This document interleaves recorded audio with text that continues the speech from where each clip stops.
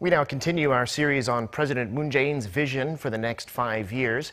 For today's installment, we touch on arguably his biggest challenge, North Korea. The goal is peaceful reunification, but the immediate threat posed by Pyongyang is undeniable. For a closer look at how President Moon plans to balance engagement and pressure, Lee Ji-won reports.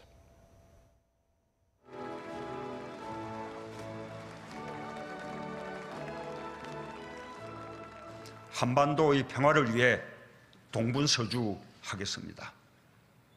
필요하면 곧바로 워싱턴으로 날아가겠습니다. 베이징과 도쿄에도 가고 여건이 조성되면 평양에도 가겠습니다.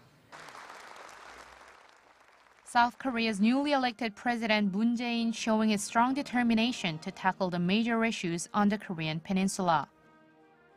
A combination of both pressure and engagement is the approach he seeks to take with Pyongyang. President Moon said the country will maintain its current sanctions on North Korea and respond sternly against any provocations by maintaining a strong South Korea U.S. alliance and by beefing up the South's own military capabilities, including the development of the Korea air and missile defense system.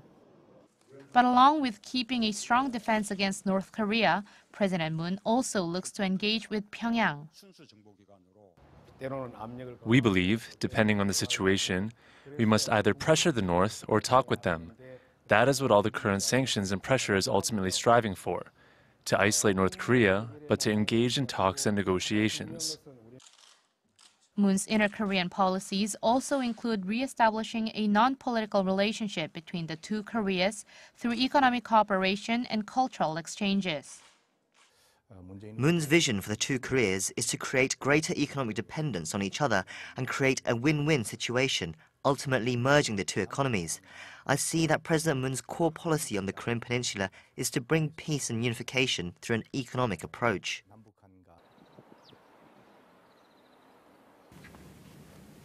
And one of them is the reopening of the Kaesong Industrial Complex. It was shut down over a year ago due to North Korea's continued provocations.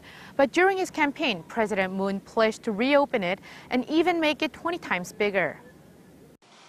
Expanding the complex would increase the number of South Korean firms from the current 125 to some 2,500 and lead to more workers from the north being employed there.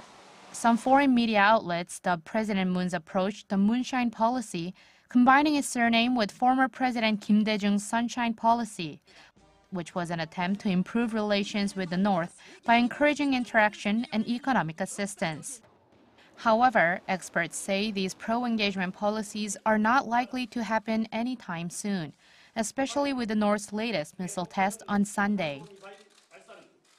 He may seek opportunities to change the mood, but actually, as I said before, it's quite very, it's quite unlikely for him to change under the current mood unless there is a kind of real, genuine gesture coming from North Korea on nuclear front. But as we know, it's very unlikely for North Korea to say or do anything meaningful in nuclear front. Rather, they will keep modernizing and advancing their nuclear capability.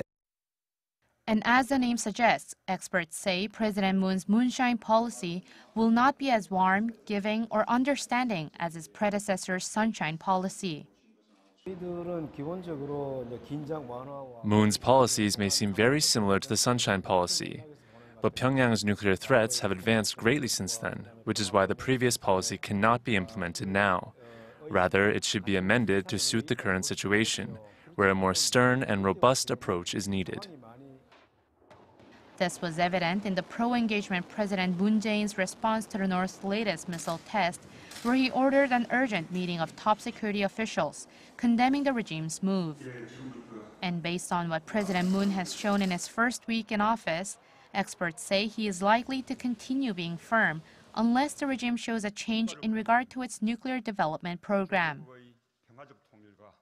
Actually, in terms of percentage, I say 40% of pressure, 60% of engagement. So that's the principle. But at this is the time for pressure.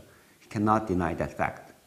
He has to follow the current policy line so long as North Korea continues to be assertive and aggressive toward the outside world. 이지원, 아리랑 뉴스.